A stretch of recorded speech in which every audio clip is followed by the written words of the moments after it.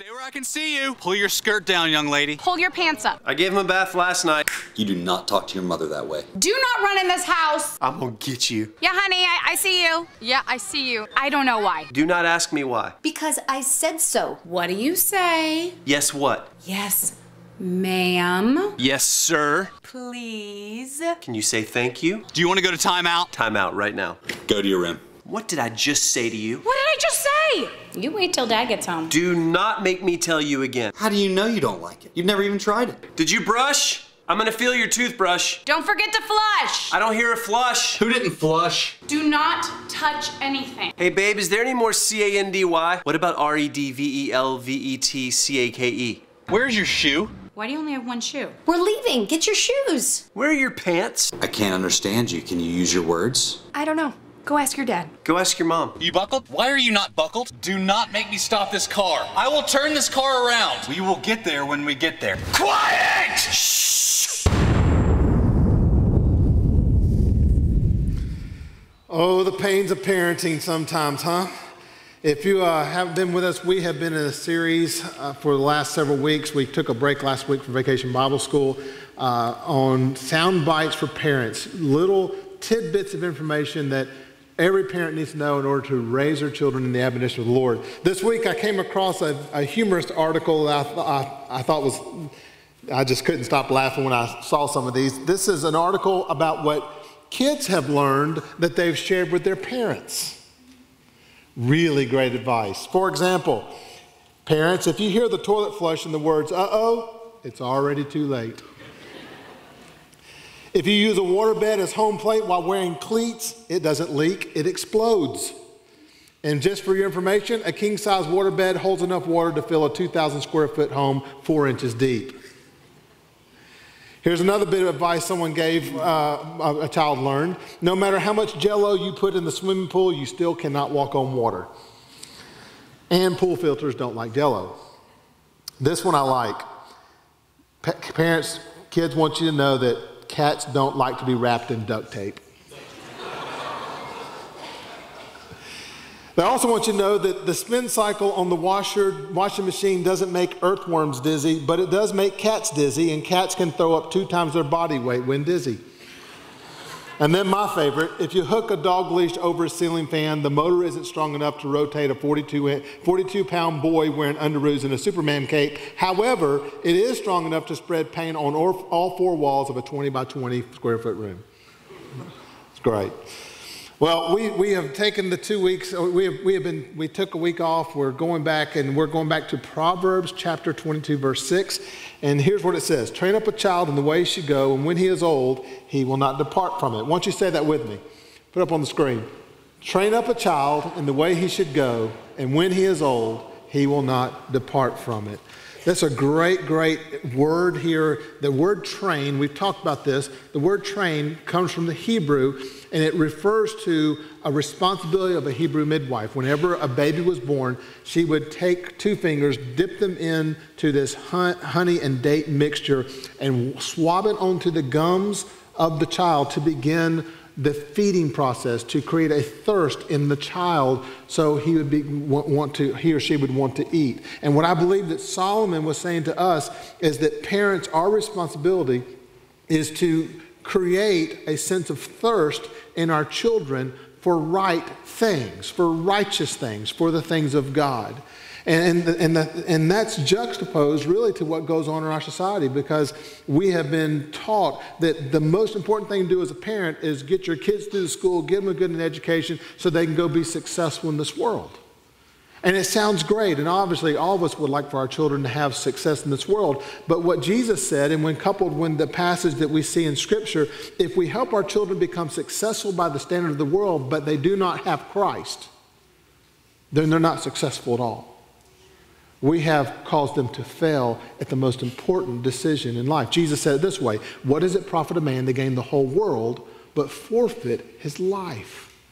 Just because you have everything this world has to offer, if you do not have Christ, then you've missed it. So in Deuteronomy chapter 6, we find a great passage of scripture that really helps us to understand our responsibility as parents.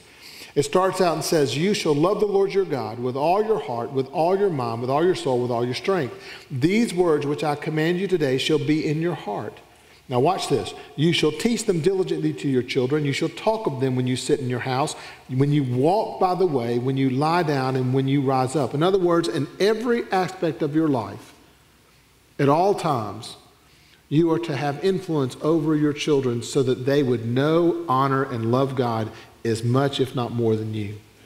And so, what does that mean? That means the priority for every one of us as parents is that we must have Jesus on the throne of our life. He must be the one who's large and in charge. He's the one that we have got to pursue. His word, His spirit, it's, it's, a, it's a desire to say, God, I'm going to trust you and you only. I'm going to put all my hope in you. I'm not going to turn to my own abilities, my own ingenuity, but I'm going to make, I'm going to acknowledge, I'm going to put you in the right place so that you can direct my steps. That is the call of a parent. We must have Christ as our priority, or else our children do not have much of a hope of discovering God's best for them.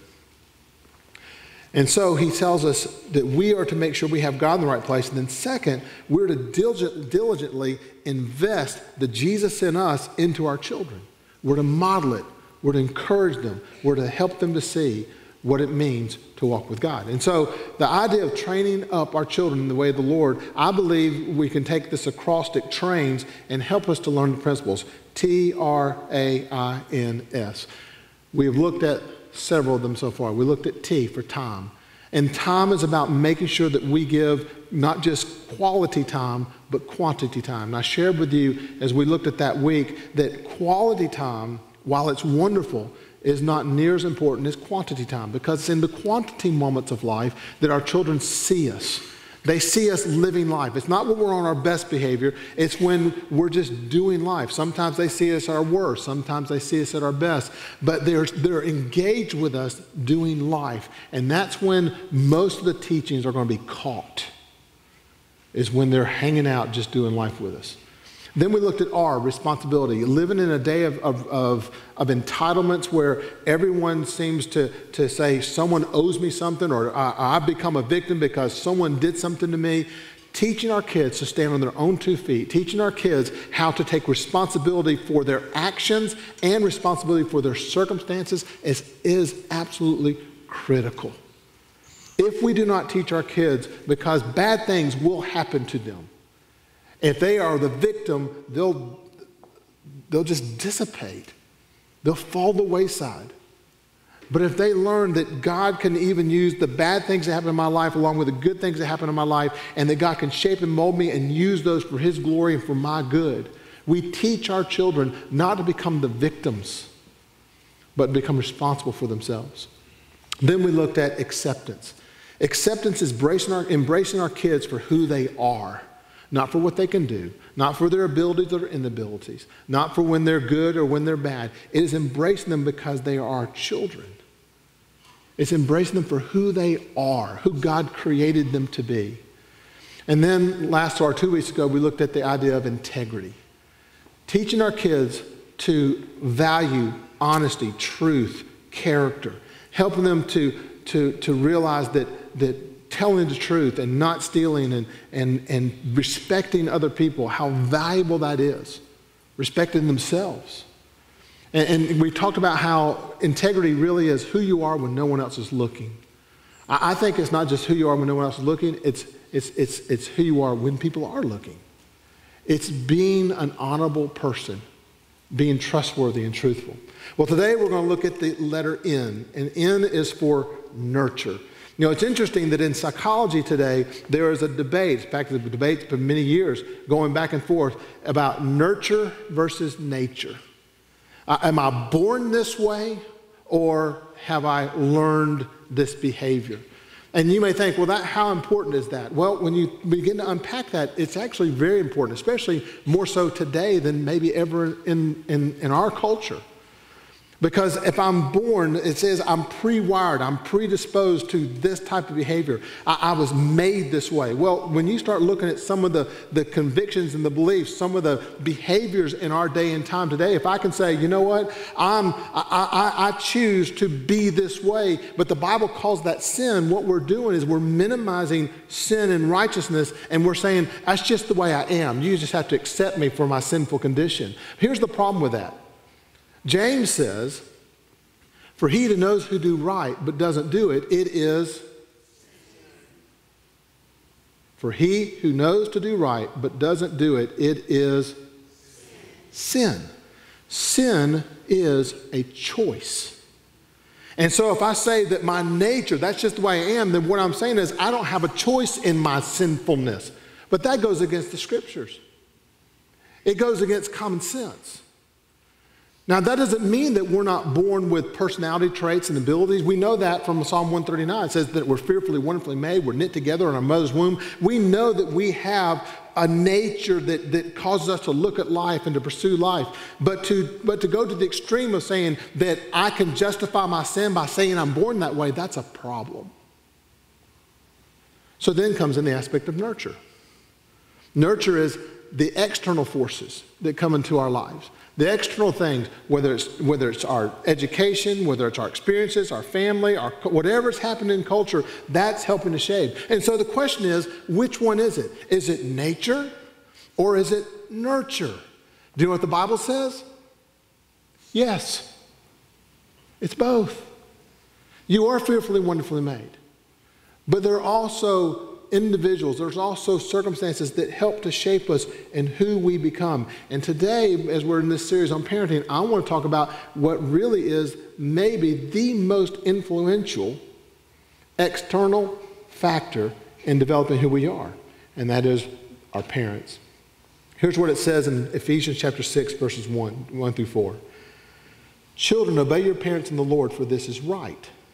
Honor your father and mother which is the first commandment with a promise. See that it may go well with you and that you may enjoy long life on the earth. Fathers, do not exasperate your children. Instead, bring them up in the training and the instruction of the Lord. Now, I want you to see this phrase, bring them up. That's kind of the key phrase here in this passage.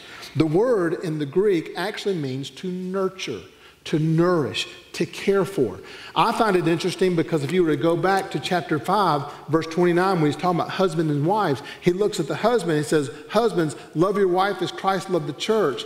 And he basically says, Love your wives and the way you care and love for yourself. And so the word there is the same. It's the, it's, it's the word to nurture. Just as you take care of yourself, just as you cherish yourself, just as you nourish yourself, just as you are so important, care for your wife. But then he says also, you should care for your children in the same way.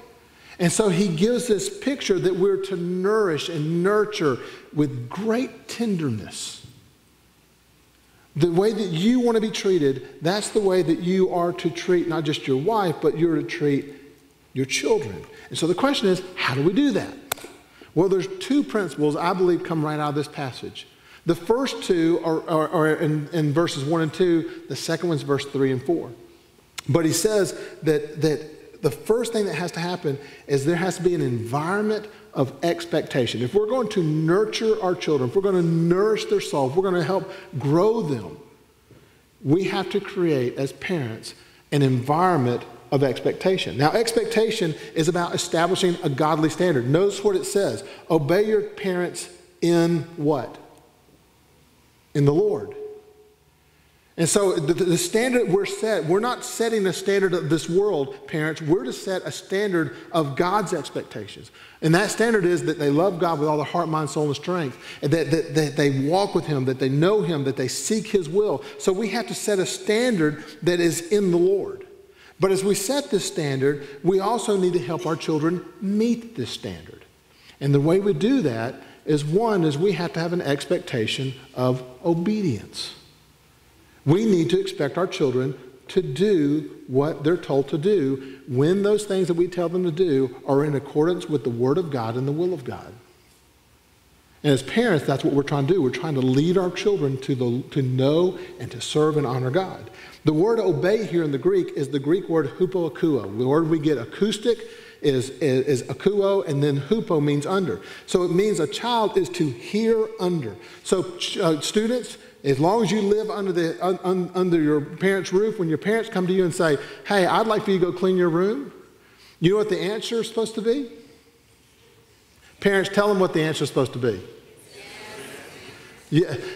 How many of you think it's wait until I'm done with what I'm doing? How about tomorrow? You know, the thing that I, will fall into the trap of, I'll say, hey, go do this, and they won't do it. And, and I'll go, one, two. And I, let me tell you the problem with that. While you think you're being patient, what we're doing is teaching our children that it's okay to be disobedient. It's okay to procrastinate. And let me tell you the problem with that. What do you think is going to happen if our children do not learn to be responsive to authority when they're given instruction.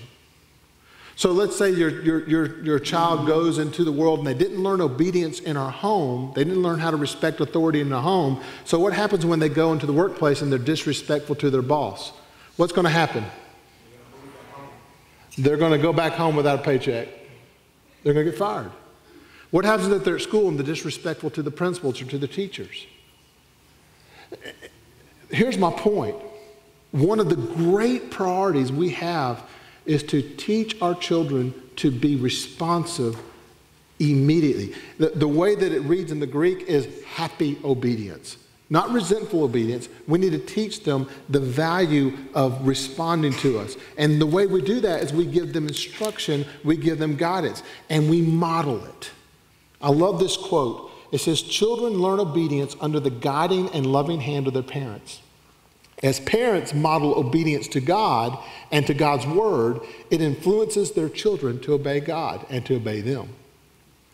And if that's not enough, then parents can apply the proper discipline to help lead their children. The result is influencing your children to obey you as their parents as they would respond to God. Now, this is a great statement. In fact, when children obey their parents, they are obeying God. What a great truth. Now, what's the objective? You know, we want to teach children obedience. And, and the truth is, children can learn obedience through, through well, there's three kind of levels of obedience. First is, I'm going to obey because there are going to be consequences. And some will go, oh, that sounds so horrible. You know, if you don't do this, you're going to get a spanking. You're going to get a timeout. You're going to get this or this or this. And you may, may think that that's bad, but let me pose it to you a different way. Would you rather your children be obedient because of fear of getting a spanking or fear of getting disciplined, or would you rather them be disobedient and face the consequences of their disobedience? That makes sense? It's far better. God is not opposed to us sometimes going, you know what? I'm not going to sin because it could destroy my marriage. I'm not going to have that affair because it could destroy my marriage. That's okay. Now, is that the reason not having? No, we want you to not have an affair because you love your spouse with all your heart. But if the reason you're not going to have an affair is because you could lose your marriage or you could lose your integrity or you could lose your job, whatever it is, it's okay to be obedient because you do not want to face the consequences of disobedience. Folks, it's okay if our children obey us because they don't, they don't want to get a spanking or they don't want to go to timeout. It's okay. Now, we want to move them up to the next level. And the next level is it's that, that children will be obedient, or will, sometimes will be obedient because there's a reward. You know, we'll say, hey, if you, if, it, like the other day, I asked Madeline, I said, Madeline, if you vacuum my car, clean my car, I'll pay you 10 bucks. Okay.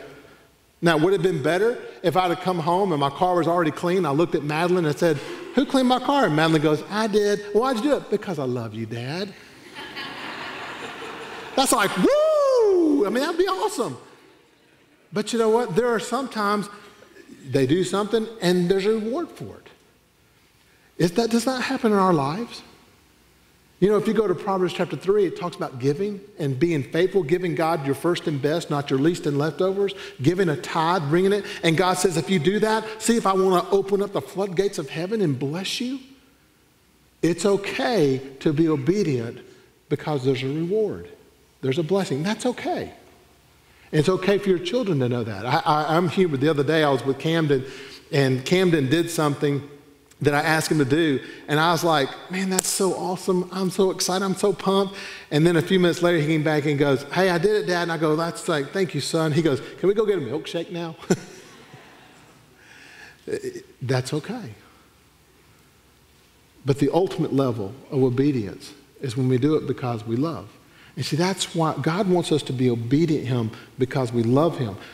As parents, as representatives of God to our children, we want to teach them that to be obedient to us and to be obedient is to be obedient to God.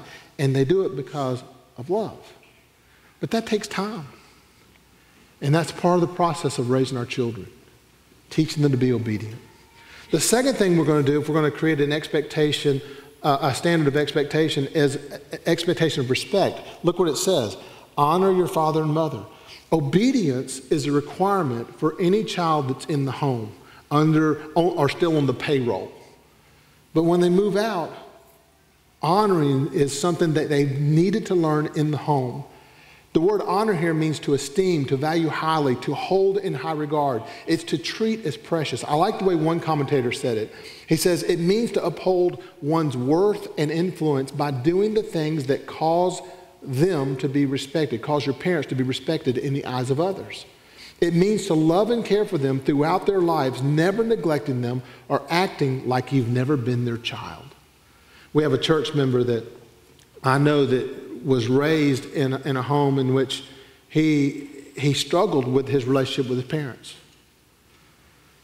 He, he sometimes didn't feel loved, he sometimes felt like his parents were disinterested. He always felt like he was trying to win their approval. And yet now he has a parent who's in a nursing home. And I got to tell you, I've been blown away by the way he cares for his mom. He goes and sees her every day. He, take, he pays the bills for her to be in this nursing home. He takes care of her, goes and sees her. And what he's showing, what he's exemplifying, is what it means to honor your father and your mother. See, it doesn't matter how good or bad your mom or dads are. You still have responsibility to honor them, to show them respect. In fact, I would go so far to say that as, as believers, if when we honor and, and, and respect our parents, God can use that to influence our parents to Christ. The second thing that we see in this text is on in verse 3 and 4. So not only is there, is, not only is there an environment of expectation, there's an environment of encouragement. If you look at, it says, Fathers, do not exasperate your children, bring them up in the training and the instruction of the Lord. The word encourage, it means to inspire, to motivate, to embolden, to, to give courage to. And we're trying to move our children to action. And so he says, there's one thing you don't do, and there's two things you do. The one thing you don't do is exasperate your children. The word exasperate means to provoke, it means to bait, it means to, to drive a wedge between. Uh, the idea is that you don't lord over your children. Remember, you're to, you're to tenderly care for them as you'd care for yourself. And so, as parents, we have this tremendous opportunity to, to lead and influence our children. Now, with that said, it doesn't mean that you don't take hard stands. It doesn't mean that you don't have boundaries. In fact, we want to find out it's just the opposite. It just means you don't do things to try to drive a wedge between you and your children, but rather you're trying to draw them to you. It's, this is an amazing teaching when you consider the context. Paul was writing to the Ephesian church. The Ephesians were a Roman, they, they were under the influence of Rome. Therefore, they were under Roman law. And there was a Roman law when it comes to parenting, in particular to dads, that honestly, when I share it with you, you guys are going to be, I can't believe it was like that. And so, what he is offering to them is absolutely contrary to the culture. It was called patri potestas. And what patri potestas, patri is father, potestas is rule or, or standard. And so he, he was given, the dads were given complete authority over their homes. When I mean complete authority over their homes, I'm talking he had the ability, if he didn't like what his kids did, he could say, you know what, I'm tired of the way you're acting, I'm selling you into slavery. He could say, you know what, I don't like what you just did, kill the kid. And it was legal. It was legal. And I know some of you are going, really? It was legal? It was said that in the days of Rome, that when a baby was born, they would take the baby to the dad, and the dad would look at the child, and if he wanted the child, he'd give it a thumbs up, and the child would live. If he didn't want it, they would give it a thumbs down, and the child would die. Executed right there. Now, before you go, how barbaric. We don't have patri potestas now, we have matri potestas now. Because now, before a child, when a child's in the womb, the mother has been given the right to extinguish life if she doesn't want it. We're just as barbaric. In fact, I was reading an article that talked about the, the, the, main reason that there's so many kids in foster care. It's not because of a loss of a parent. It's not because of, of you know, something bad's happened in someone's life. The number one reason for foster care in America is because of parental disinterest. I don't want these children. They're going to cramp my style. They're going to, they're going to cause me to have the life I did not want. And so when we look at this, we've got to say, okay, so what does it really mean to create an environment of encouragement? Well, first, it means you don't lord over your children, you teach and you guide your children. The word here actually gives the impression that the parent's call is to disciple their children.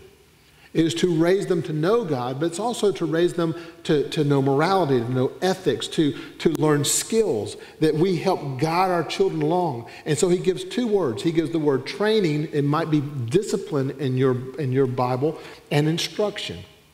The first is to give a sense of mind by providing the necessary boundaries. That as a parent, we are to give boundaries. We're to say, okay, here's where you can go, here's what you can't, here's what you can do, here's what you can't do. And then, secondly, is the instruction, we're to give the explanation why. And so we are to invest truth as we give parameters to our children. Now, let me see if I can give you an example. Let's say that, that little Johnny is, is learning how not to cross the street. And so I take him up and I say, Johnny, here's the street. Do not cross over. Here is the boundary. You know what little Johnny's going to do? Little Johnny's going to get up to the edge and he's going to sneak around and he's going to go get his leg out there. He'll stick his head out. He's going to do everything but cross over until finally he's going to say, Nobody's looking. I, I think I'm going to cross it and see what happens. And then he gets hit by a car. What he's saying here in this text is don't just come up and say, don't cross, don't cross over the curb. He's saying, bring little Johnny up, say, Johnny, don't cross over the curb. And here's the reason why because there are cars zipping up and down the street. And if you step into the street, if you cross over this, this, this boundary, it could hurt you. You could die. And so you give explanation why. Now, what do you think is going to happen with little Johnny? Little Johnny's going to come up and he's going to come over, he's going to look, and when he doesn't think you're looking, he's still going to step into the street. And that's when you have the pleasure of becoming a parent. Because what are you going to do? Are you going to sit back and go, hey, watch this? no. What you're going to do is you're going to go get little Johnny, you're going to take him out of the street, and then you're going to help him learn physically what it means not to go into the street. Amen? Can I get a witness?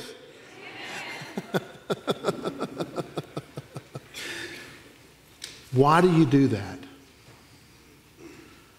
Because one, you love your children. Two, is because you understand that it's your responsibility. If you don't teach him, if you do not set the parameter, you do not teach him why not to do that, you will feel responsible and culpable, and you would be. When he talks about discipling, training your children, he's saying, parents, you've got to get involved. You've got to set those boundaries, and you have to hold those boundaries because the boundaries are for that child's good. But then you also get them to give expl- explanation and teach and encourage. And when they do step over, because they will, that's when you step in and say, okay, let's learn from this. And you help your child. The nuance here is that as parents, we are disciples, disciple makers. And we're going to invest Christ, we're going to invest truth, we're going to invest reality into the lives of our children so that they know God and they can be functional in this world. And that requires tender nurture. I'm going to remind you of what I was reminded of this week. Sometimes I forget that my children are not adults. Sometimes I forget that my children are experiencing things for the first time and I've taken, I've, I've, I've, I've experienced it so many times, I just take it for granted. Where are they going to learn it? How are they going to learn it? And how am I going to and give them that instruction? Is it going to be with tender compassion? Is it going to be with, with, a, with a gentle firmness? I was reading an article, I don't have it with me right now, but I was reading an article about uh, Ann Landers made the comment, it was something to the effect of, if you want to, it, it, it, you have a choice when it comes to parenting your children. When they do something wrong, you can explode, you can throw temper tantrum, you can yell, cuss, curse, do whatever you want to do. And if they turn out all right, it won't be because of you. It'll be a miracle. Or you can realize as a parent that you're guiding someone who's farther behind, who's not gone through the things you've gone through, who's not learned the things that you've learned, and you can begin to coach them and teach them and love them in gentleness so that they begin to comprehend and apprehend the necessary skills they need in order to thrive with God in this life. That's what it means to nurture. So, with that in mind, I want to go back to Deuteronomy chapter 6. And I want you to listen very clear, clearly and carefully. You shall love the Lord your God with all your heart, with all your mind, with all your soul, with all your strength. These words which I command you today shall be in your heart. You shall teach them diligently to your children. You know what that tells me? It tells me if you're going to nurture and nourish your children, you got to be more strong willed than they are. You shall talk of them when you sit in your house, when you walk by the way, when you lie down, and when you rise up. You know what that tells me? It tells me that your children may look at you and go, Mom, Dad, you are a broken record. And you look at them and say, and when you get it, we'll move on to the next lesson. But I'm going to be a broken record because it's truth and because it's the way that it is, truth that's going to lead you to know God, honor God, and serve God with your life. Let's close in prayer. Father, thanks for the chance to study your word this morning. We love you and we're so grateful that you speak into the everyday elements of our lives, such as parenting. Lord, I pray that you would help us today as parents to realize that we cannot parent apart from you, that we need your guidance. We need your truth. We need the Holy Spirit because there are those times that we're short on patience. There are those times that we don't know what to do. But Father, you do. So, Lord, I pray that today, that each one of us who are parents, that, Lord, that we will recommit ourselves to loving you, to having you first. Father, if there's one person here as a parent who's, who doesn't know you, Lord, I pray that today you would convict them and help them to understand that until they get you at the center of their lives, they're just going to muddle through. But when they have your spirit to guide them, and they have your word to give them parameters, instruction, that, Lord, they can become far more effective in leading their children to know, honor, and serve you. Father, would you bless our time of invitation? Would you be glorified in it in Jesus' name? Amen. Won't you stand with me. We're going to close out our time together this morning, and I, I want to make the invitation very simple. If you don't know Christ your Savior, and you'd like to talk to someone about what it means to know Him, there'll be men out down the front, and women down the front. They'll be more than happy to, to talk with you about your relationship with God. But today, I really believe that maybe one of the most important things we can do is to come and to pray for our, our families, to pray for our responsibility to nurture. Maybe we've blown it. We need to come and say, God, I blew it. But I want to begin today, and I want to lay it on the altar. You can sit where you are in your seats. You can do that. You can kneel. But I want to invite you to come to the altar this morning to pray for your families and to pray for your responsibility as parents to nurture your children. Once you respond as God.